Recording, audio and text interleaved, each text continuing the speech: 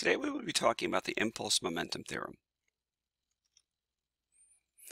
Before we really get into the idea of the impulse momentum theory, we first have to look at what linear momentum itself is. Linear momentum of an object is the product of an object's mass times its velocity. In other words, the formula for it would be P, which is a symbol for momentum, is the mass of the object times its velocity. It's a vector quantity since um, velocity would be a vector, so momentum would have to be a vector because you're taking mass, which is a scalar, and multiplying it by speed, excuse me, velocity, which is a vector. So the units would simply be the units of mass and velocity, or kilogram meters per second. All right, so let's see if we understand this. Which has more momentum, a kid on a bicycle or a train?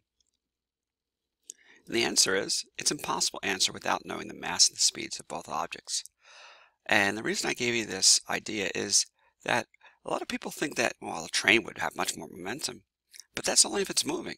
So it's a product of mass and velocity, so you have to have both.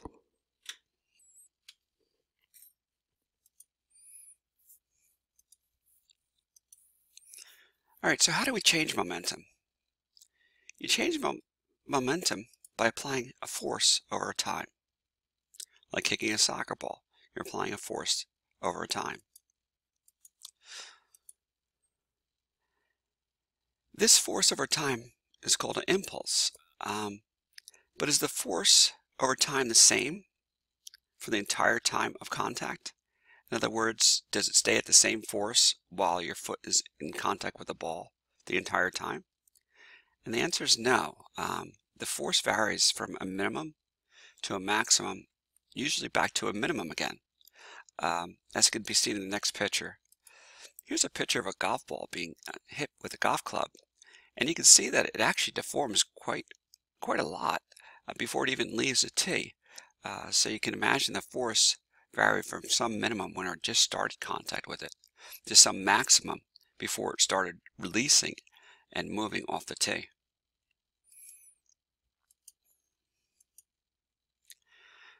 So as I just pointed out, there's many situations where uh, the force is not constant, and I wanted to show you a quick graph of that.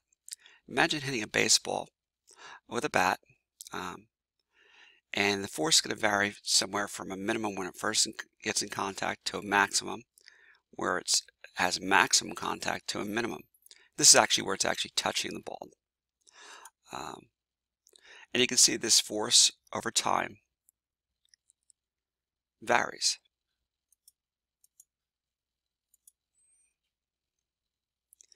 So what is the definition of impulse? Impulse of a force is the product of the average force and the time interval at which the force acts.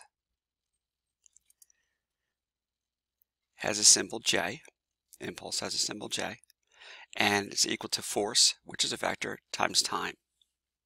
So once again, this would be a vector quantity because force has a direction, so therefore impulse would have a direction. And what are the units?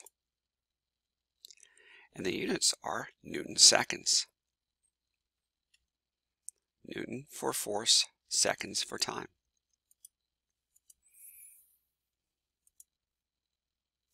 All right, let's look at hitting a baseball again.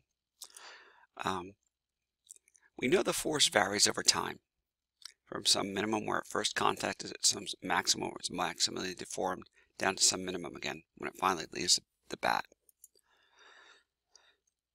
We can understand that if this is a force versus time graph, then the area underneath this graph would simply be the impulse because it'd be force times time.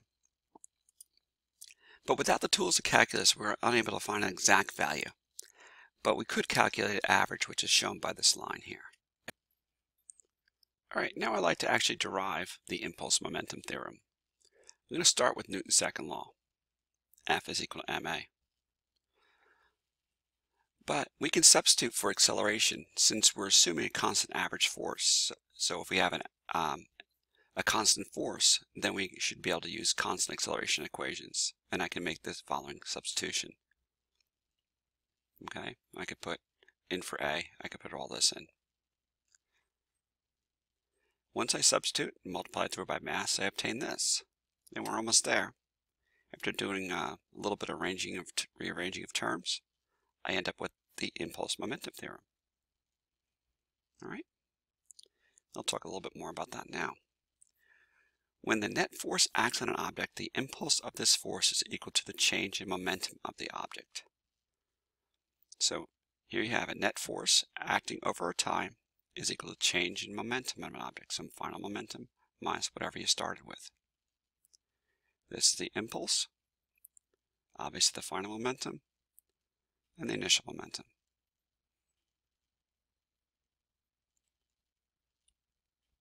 So let's um, look at an example of this. Um, rain comes down with a velocity of negative 15 meters per second. Why negative? Well, if we count up as being positive, then down would be negative. And it's coming in at negative 15 meters per second. Hits the roof, and we have a mass of 0.06 kilograms per second hitting the roof, and it comes to a stop. We'd like to know what the average force is. So what is the average force? It would have to do with, we'd have to use the impulse momentum theorem. Because we have everything we need other than the average force.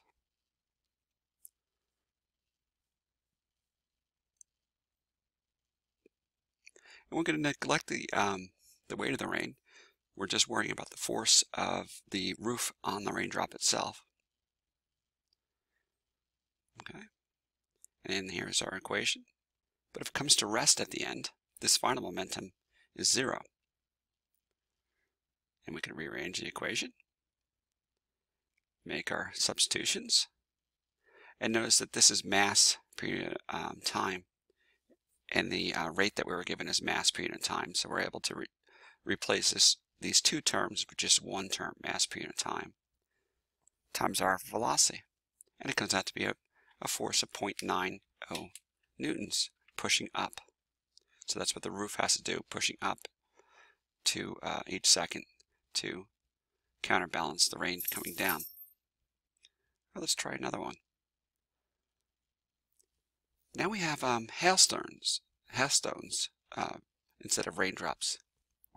And if you realize with hailstones, when they hit the roof, they actually bounce back up. So, if that's the case, I would like you to think about this. What would I have to push with more? The, um, the roof with the rain or the roof with hail? Um, and think about it. Which one would have to push back with more? Force. The roof when rain hits it, or the roof with hail. And assuming they're the same exact mass per unit of time, assuming the same uh, initial velocity, which one would have to push back with more? And hopefully you realize the answer is with hail, because now you're giving it some final velocity that is greater than zero. So the change of momentum is going to be a lot greater. Okay? So not only, think of it this way, not only is stopping the rain, bringing it to a stop, but you're taking it and throwing it back as well. So that's a little introduction to the impulse momentum theorem.